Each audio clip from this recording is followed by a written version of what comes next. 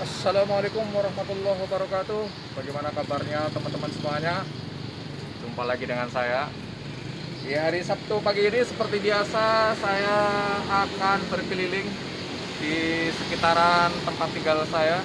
Saat ini saya berada di Simpang 4 Kecamatan Karanglewas Ya, di sini ada pangkalan ojek Pagi ini jam 6 kurang 10 menit saya akan menuju ke desa Kalipagu karena di sana dikabarkan ada sebuah situs yang menurut beberapa tulisan masih ada kaitannya dengan kerajaan Galuh Purba.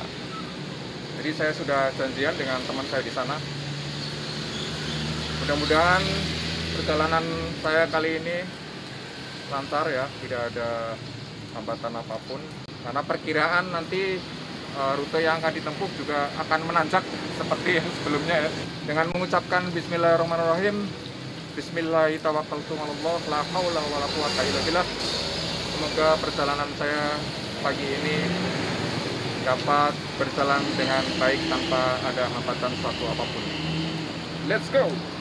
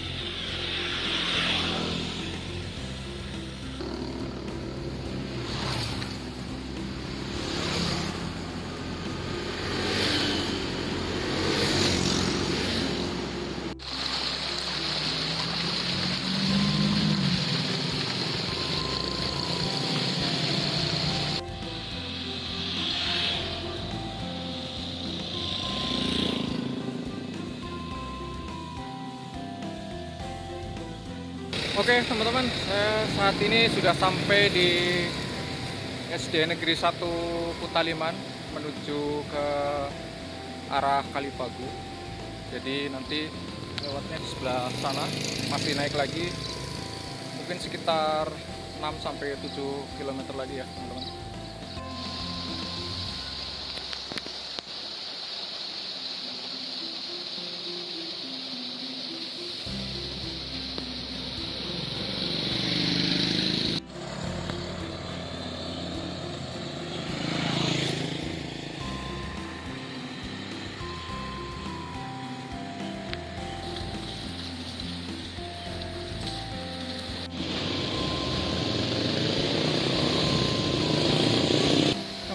karena jalannya ini memang menanjak seperti dalam prediksi saya.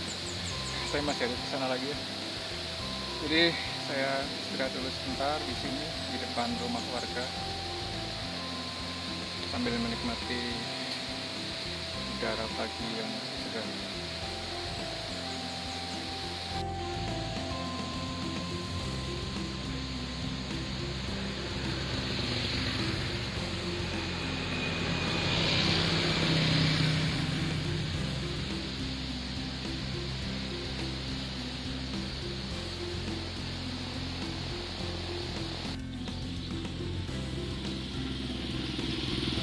Waduh. Terus ditarik.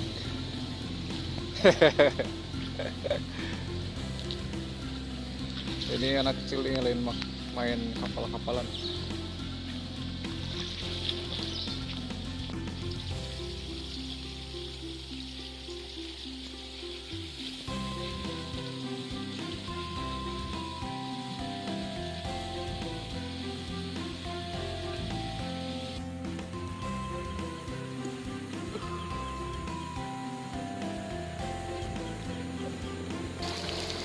Teman-teman, sambil beristirahat dulu sebelum melanjutkan perjalanan ke arah sana, ke arah Kalipagu ya. Saya istirahat dulu di sini. Ini pas kebetulan ada saluran air yang keluar dari pipa plastik ya, sepertinya karena bocor. Jadi saya akan coba membasuh muka dulu di sini. Sepertinya airnya cukup dingin juga ini teman-teman.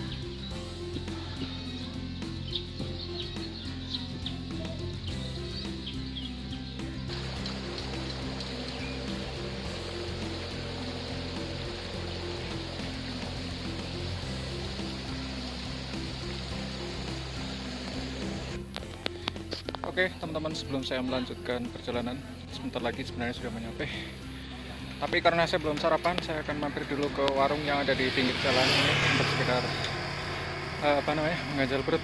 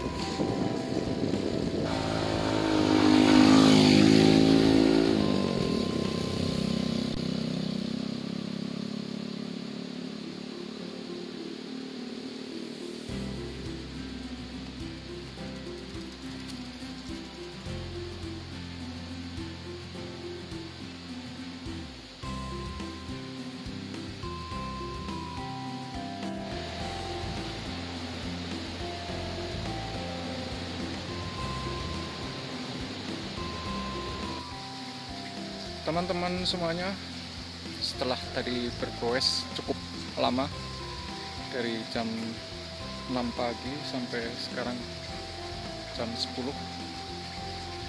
jadi hampir 4 jam saya harus menghabiskan waktu untuk melakukan perjalanan dari rumah ke tujuan.